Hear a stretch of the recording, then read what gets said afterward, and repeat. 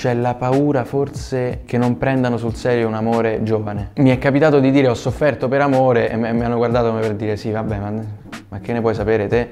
Eh, dove vai? Brava. Da adulto io rispetterò con tutto me stesso l'esperienza di un giovane, perché col senno di poi mi piacerebbe che un, un adulto riconoscesse la mia esperienza di vita. Ferzan Ozpetek, che ti dice dal nulla, sai Mina ha visto il tuo provino. Io ho detto, no, no, cosa? Chi? Mina, Mina. Io ho detto, eh, ha detto che sei meraviglioso, ha chiesto da dove è uscito, pazzesco, incredibile.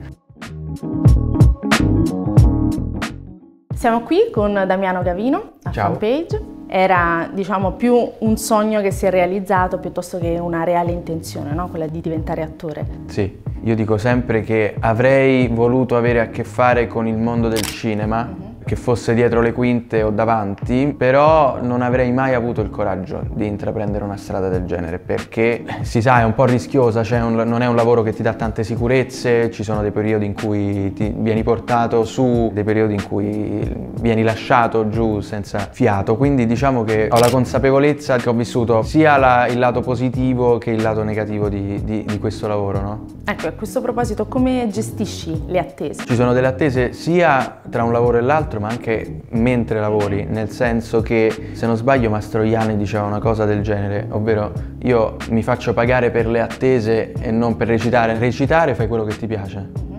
Cioè stai facendo quello che ami, ti diverti da morire, eh, tiri fuori tutte le tue emozioni, tra un ciak e l'altro. Cambiano inquadratura, cambiano luce, ci vuole un po' di più e tu devi cercare di tenere l'emozione che hai portato nel primo ciak. È una sorta di attesa continua che però anche quella fa parte del lavoro. Senti, hai più volte citato Alessandro Dalatri come colui che ti ha iniziato no?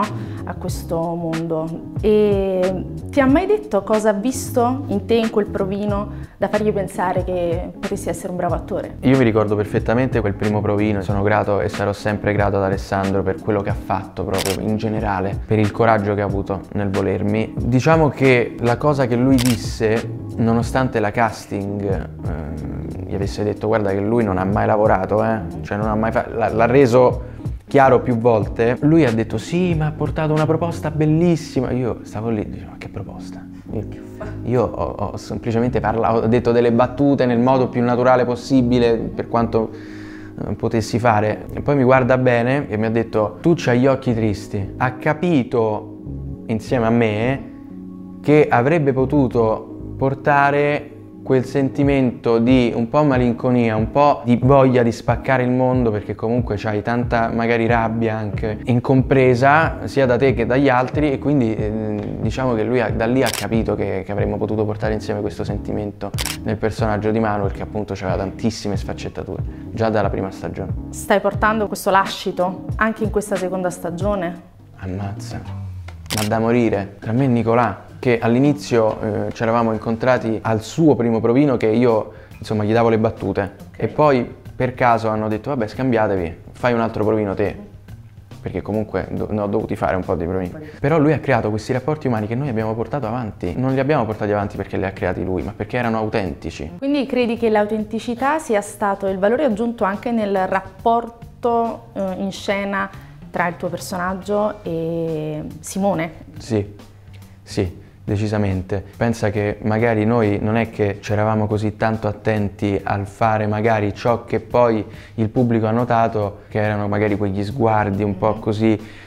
Noi seguivamo una linea di pensiero con Alessandro, ma anche con Nicolà, in cui abbiamo lavorato tantissimo, ma senza pensarci troppo. Eravamo in scena, sì. cioè sentivamo il pericolo l'uno dell'altro nel mettersi in determinate situazioni la voglia di aiutarsi, questo rapporto molto profondo, come hai detto tu, e, sì, decisamente questo è dovuto a, ai rapporti che, che, sono veri anche nella vita, ma anche con i ragazzi della classe. Senti, un professore, eh, sin dalla prima stagione è una serie che ha avuto un successo forse anche inaspettato e che si ripropone anche di parlare al pubblico adulto. Cos'è che secondo te gli adulti devono imparare dalle nuove generazioni? Di credere nelle nostre esperienze. Nel senso, succede che gli adulti non ti prendano sul serio perché dall'alto ovviamente della loro esperienza, come è giusto che sia, ogni tanto magari ti screditano un po', ma non screditano te come persona, ma le tue esperienze, perché ah, ma tu non l'hai mai fatto, non ne puoi capire nulla, oppure eh, tu l'hai fatto poche volte, non, non, puoi essere come me. Però io sono dell'idea che le nostre esperienze, per quanto poche di, in quantità, siano magari più profonde e più forti rispetto a quelle che, che ha avuto una persona adulta. Da adulto io rispetterò con tutto me stesso l'esperienza di un giovane, perché col senno di poi mi piacerebbe che un, un adulto riconoscesse la mia esperienza di vita.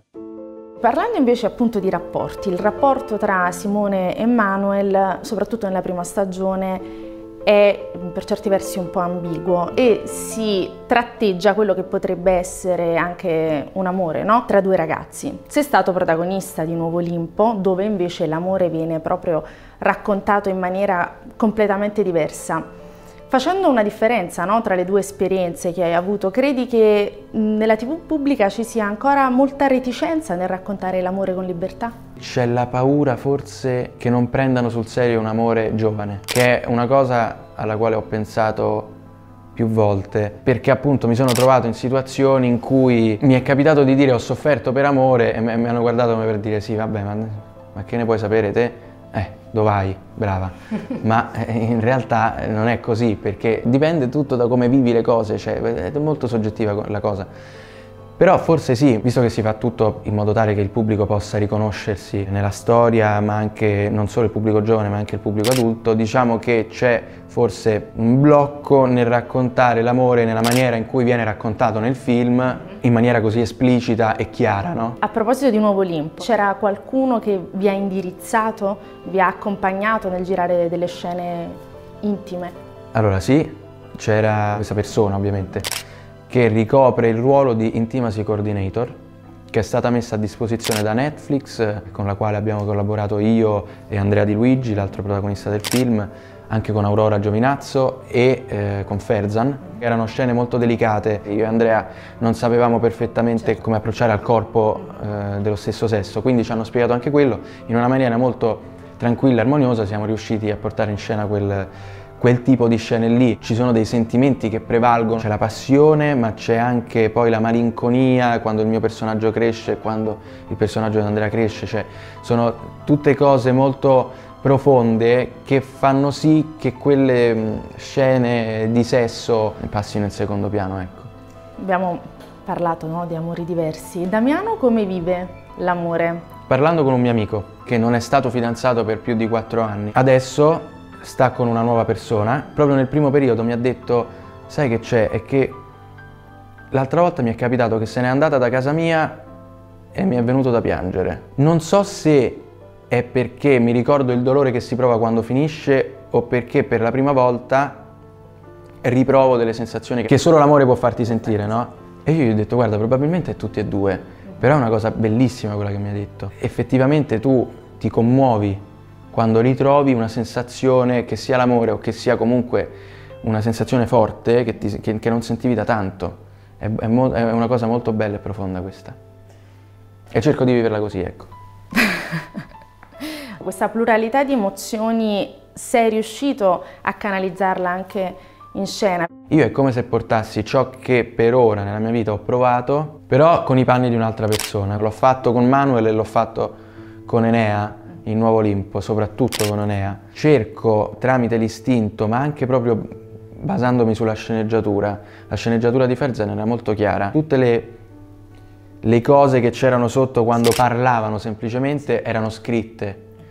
E quindi insieme a Ferzan abbiamo capito come Enea avrebbe potuto portarle poi in scena. Hai detto che sei molto differente da, soprattutto da Enea. Come ti descriveresti? Cerco di, di essere una persona molto disponibile, generosa e, e, e, soprattutto di cercare di vivere il mio privato nella maniera più privata possibile. No? Ecco, a proposito di questo, un professore ti ha cambiato la vita da, da questo punto di vista. Come eh, si vive l'ondata di popolarità è molto affascinante e particolare vedere che le persone si emozionano nel vederti. Tu in qualche modo con il lavoro che fai tramuti in uh, verità un sentimento, racconti una storia nella quale le persone si sono riconosciute. Questo per me è, bellissimo, ma vedere anche persone molto più grandi di me che mi vedono, mi chiedono la foto tremando, capito? Per me è una cosa che mi viene anche da ridere perché se mi conosci sono una persona talmente tranquilla e che proprio questa cosa non ci pensa, mi intenerisco anche un po', però allo stesso tempo mi fa piacere e in qualche modo capisco che a un certo punto si può perdere la testa per questa cosa qui, perché è una cosa che in qualche modo crea anche un po' di dipendenza. Non parlo per me. Una terza stagione di un professore pensi ci sarà? boh, non lo so, non si sa. E un film con Lea quando lo facciamo? Mi auguro presto. È una cosa alla quale bisogna stare molto attenti perché non è che possiamo fare dieci film insieme, ecco, perché comunque ci assomigliamo, non possiamo Vabbè, fare neanche gli amanti, ecco, questo è, mi pare chiaro. Ci pensiamo ovviamente tutti i giorni, ma non vogliamo avere fretta nel farlo perché appunto sappiamo la rarità di questa cosa qui e vogliamo sfruttarla al massimo per una cosa di, di grande valore narrativo, ecco. Non c'è competizione tra voi? No, assolutamente no, anzi c'è... C'è molta collaborazione, ma anche nel primo provino di un professore lei mi aiutò molto. Non è proprio scontata come cosa. Lei prima di prendere un sì ha preso tanti no. Io al primo provino ho preso un sì.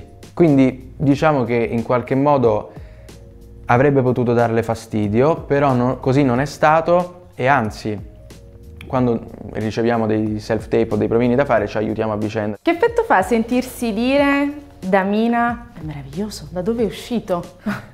Sono tornato a casa che non ci credevo, cioè è, assurdo. Andare a quell'incontro con Ferzan, con Ferzan Ozpetek, che ti dice dal nulla, sai Mina ha visto il tuo provino. Io ho detto, no, no, cosa? Chi? Mina, Mina. Io ho detto, eh, ha detto che sei meraviglioso, ha chiesto da dove è uscito, pazzesco, incredibile. Io ero lì, secondo me ero diventato verde praticamente, e che mi tremavano le gambe perché ti giuro, è una sensazione assurda. Percepisci che il mostro sacro sì. della musica italiana ti ha visto e ha percepito un qualcosa in te, come tu l'hai percepito in lei, come tutto il mondo penso, ed è una, una cosa, una riconoscenza per me unica. Quella sensazione lì me la porto dietro per tutta la vita, me la porterò dietro. E quindi hai del talento, ce l'hai?